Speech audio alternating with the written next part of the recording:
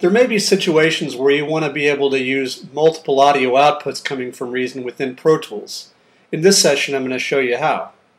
You'll notice that I have a ReDrum drum machine in this session.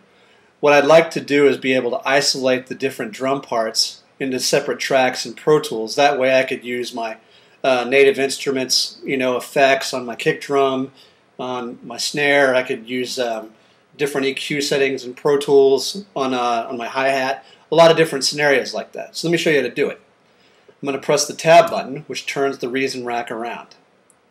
Now, I'm going to drag my kick drum all the way up here to the hardware device output. And notice that just sends one output directly.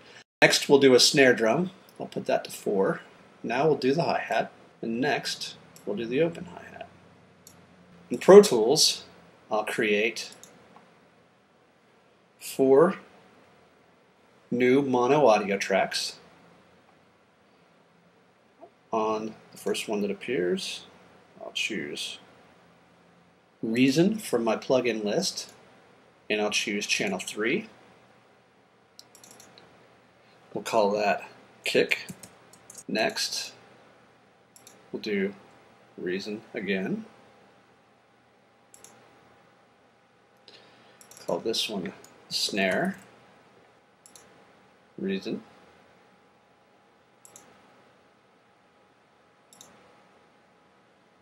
You'll notice that I'm setting up outputs that match the reason outputs in the hardware device.